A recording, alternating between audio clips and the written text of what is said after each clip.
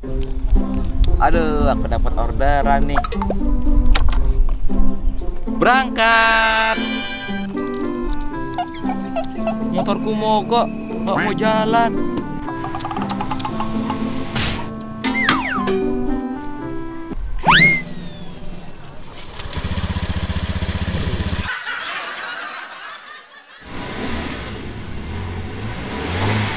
Ini kenapa mobil kamu mundur? Padahal baru kemarin aku servis.